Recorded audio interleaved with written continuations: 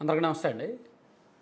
రాబోయే ఎన్నికల్లో లోక్సభ ఎన్నికల్లో ఆంధ్రప్రదేశ్లో వైఎస్ఆర్ కాంగ్రెస్ పార్టీకి ఎన్ని సీట్లు వస్తాయి? టీడీపీకి ఎన్ని సీట్లు వస్తాయి? అసలు ఆంధ్రప్రదేశ్ రాష్ట్రంలో ఏ రాజకీయ పార్టీ బలం ఎంత? ఇది అనేక వర్గాల ప్రశ్న. నేను చాలా వీడియోస్లో చెప్పాను. రాజకీయ పొలిటికల్ సీజన్లో రకరకాల సర్వే సంస్థలు రకరకాల సందర్భాలు చూసుకొని సందర్భం ఉన్నా లేకపోయినా వాళ్ళ వాళ్ళ సర్వేలు ఇవి అని రిలీజ్ చేస్తూనే ఉంటాయి. ఈ సర్వేలన్నీ కూడా ఏదో ఒక పార్టీని సాటిస్ఫై చేయడానికే ఉంటాయి. ఆ నాయకుడిని సాటిస్ఫై చేయడానికే ఉంటాయి. నేను పొలిటికల్ క్రిటిక్ అనే ఒక సర్వే సంస్థ పీసీ సర్వేస్ ఆఫ్ ఇండియా అనే ఒక సర్వే సంస్థ తాజాగా నిన్న సాయంత్రం ఒక గణాంకాలు రిలీజ్ చేసింది. ఆంధ్రప్రదేశ్ రాష్ట్రంలో ఎవరికి ఎన్ని సీట్లు వస్తాయి ఏంటి అనేది. అందులో వైసీపీకి ఇరవై ఒక్క ఎంపీ సీట్లు వస్తాయి అని ఆ పార్టీ కన్ఫర్మ్ చేసింది. సరే ఆ పార్టీ ఆ సర్వే సంస్థ చెప్పిన లెక్కలు చెప్పే ముందు నేను ఒక్కటే చెప్పాలనుకుంటున్నా.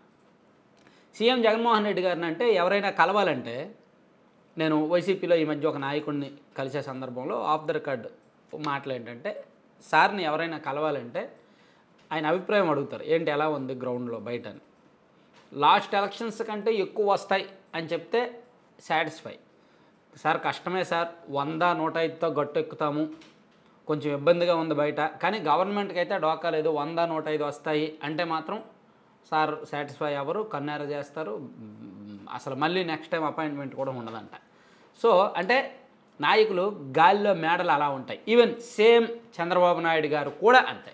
చంద్రబాబు నాయుడు గారి దగ్గరికి వెళ్ళి సార్ కష్టంగా ఉంది సార్ మీరు చూస్తే నూట అరవై నూట డెబ్బై అని బయట అంటున్నారు కానీ ఫీల్డ్ అలా లేదు సార్ గవర్నమెంట్ వచ్చేలా లేదు ఇబ్బందిగా ఉంది అంటే ఆ తూ లేదు. అంటే నాయకుల్ని సాటిస్ఫై చేయడమే ఇంపార్టెంట్.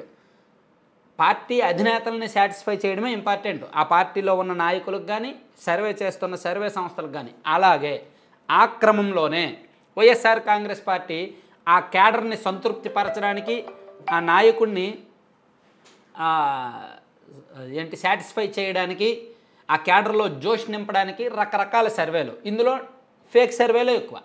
టైమ్స్ నౌ భారత్ అని మొన్న మధ్య సర్వే రిలీజ్ చేశారు. ఇరవై ఐదుకి ఇరవై నాలుగు ఎంపీ సీట్లు వైసీపీకి అంట ఇరవై నాలుగు లేదా ఇరవై ఐదు ఎంపీ సీట్లు వైసీపీ గెలుస్తుంది అని. అలాగే అంతకుముందు ఇంకో సర్వే రిలీజ్ చేశారు. పదహారో పదిహేడో ఎంపీ సీట్లు వైసీపీకి వస్తాయి అని. సో ఇప్పుడు పొలిటికల్ క్రిటిక్ అనే సంస్థ కూడా ఇరవై ఒక్క ఎంపీ సీట్లు వైసీపీకి వస్తాయి అనేది కూడా ఆ కోవలోకి చెందినదే. సీఎం జగన్మోహన్ రెడ్డి గారిని సంతృప్తిపరచడానికి వైసీపీ క్యాడర్లో సంతృప్తి నింపడానికి వాళ్ళలో కాన్ఫిడెన్స్ నింపడానికి ఇలా నేషనల్ మీడియాలు ఇప్పుడు ఆంధ్రప్రదేశ్ మీడియాలు అంటే ఎవరి కాళ్ళకి డివైడ్ అయిపోయినాయి. ఇప్పుడు సాక్షి మేము సర్వే చేసాము వైసీపీకి ఇరవై ఐదు ఇరవై ఐదు వస్తాయంటే నమ్మరు ఎవరు.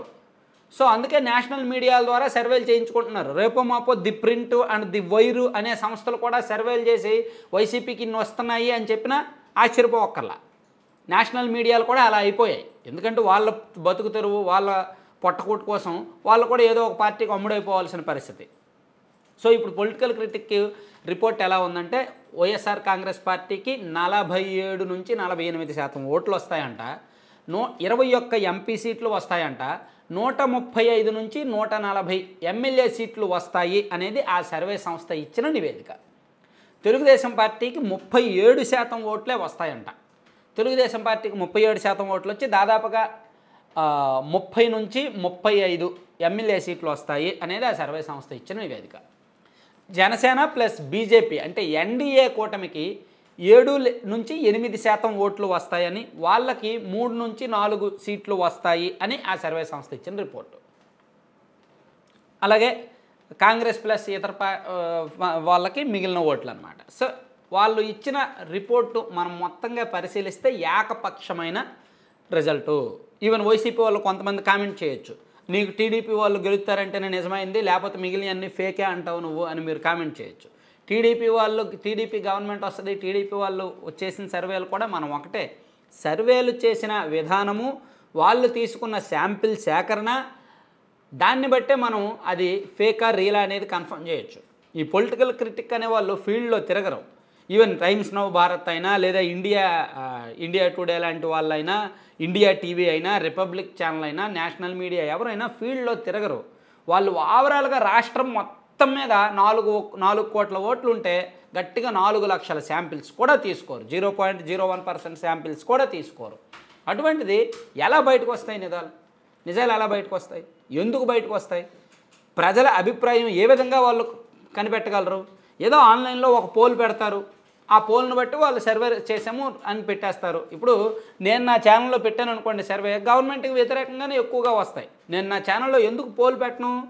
ఏకపక్షమైన ఫలితం వస్తుంది. ఈవెన్ ఏ యూట్యూబ్ ఛానల్లో పెట్టినా అదే పరిస్థితి. ప్రభుత్వానికి వ్యతిరేకంగానే వస్తాయి. ప్రభుత్వానికి సాక్షి మీడియాలో ఒక పోల్ పెట్టారు అనుకోండి వచ్చే ఎన్నికల్లో ఏ పార్టీకి గెలుస్తుంది అని? వైసీపీకే వస్తాయి.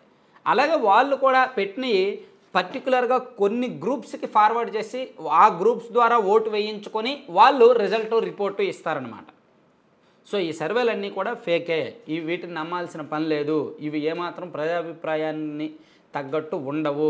ప్రజల దగ్గరికి వెళ్ళి శాంపిల్ సేకరించే ధైర్యం ఎవరూ చేయట్లేదు. అలా సేకరించినా ప్రజలు కూడా నిజం చెప్పే ధైర్యం చేయట్లేదు.